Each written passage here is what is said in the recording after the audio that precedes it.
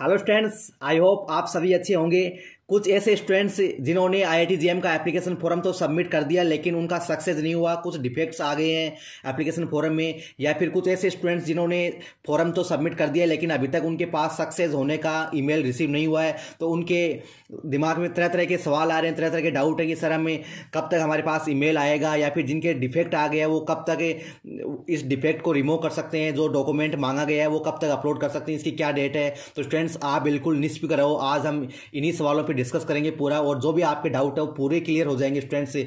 इसके बावजूद भी अगर कोई आपका डाउट रह जाता तो आप प्लीज़ कमेंट कीजिए। अगर चैनल पर नए तो प्लीज़ चैनल को सब्सक्राइब कीजिए। आप सब्सक्राइब करने से क्यों घबराते हो? प्लीज़ सब्सक्राइब कीजिए फ्री है बिल्कुल और कमेंट कीजिए। कोई भी आप क्यूरी है, कोई भी डाउट है वो तुरंत आपको रिप्लाई करने की हम पूरी कोशिश करेंगे स्टूडेंट से।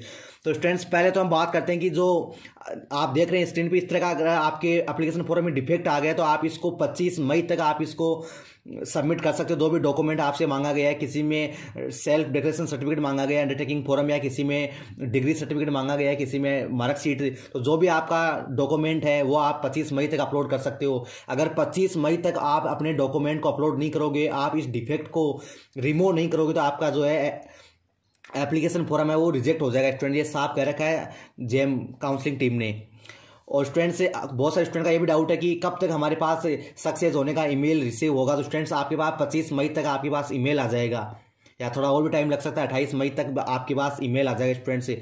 अगर आपको पच्चीस मई के बाद में अगर किसी स्टूडेंट को ईमेल आता है और उसमें डिफेक्ट आता है तो आप उसके बाद में भी ठीक कर सकते हो। लेकिन जिन स्टूडेंट्स के पास अभी डिफेक्ट का जो ईमेल आ गया तो स्टूडेंट्स आपको पच्चीस मई से पहले पहले इस डिफेक्ट को रिमूव करना होगा स्टूडेंट से। अब बहुत सारे स्टूडेंट को पता कैसे चलेगा कि, सर, हमें क्या अपलोड करना है? तो आप स्टूडेंट से जब जो डिफेक्ट का नीचे ऑप्शन आ रहा है, आपका ग्रीन में उस बॉटम को आप क्लिक करोगे तो आपके पास रिमार्क आ जाएगा कि आपको यहाँ पर अंडरटेकिंग फॉर्म अपलोड करना है, कैसे अपलोड करना है, कहाँ पर टिक करना है, या फिर आपको कोई डॉक्यूमेंट अपलोड करना है, जैसे नेशनलिटी सर्टिफिकेट वगैरह, जो भी है वो आपको रिमार्क में मिल जाएगा स्टूडेंट से। आप जैसे इस बॉटम पर आप क्लिक करोगे तो आपको और भी डिटेल्स मिल जाएगी और आपको जो है अपलोड करने का ऑप्शन मिल जाएगा। बहुत सारे स्टूडेंट्स ऐसे बोल रहे थे, सर, हमारे पास तो डॉक्यूमेंट अपलोड करने का ऑप्शन नहीं आ रहा तो स्टूडेंट्स आप इस बॉटम को क्लिक कीजिए। आपको देखो, आप स्क्रीन पे देख रहे होंगे, जैसे आपके पास एक, कम से कम एक या दो का जो है अपलोड करने का ऑप्शन आ जाएगा, जो भी आप, जितने भी डिफेक्ट हैं आपके एप्लीकेशन फॉरम स्टूडेंट्स से। और कोई भी आपको जानकारी चाहिए स्टूडेंट्स प्लीज़ आप कमेंट कीजिए,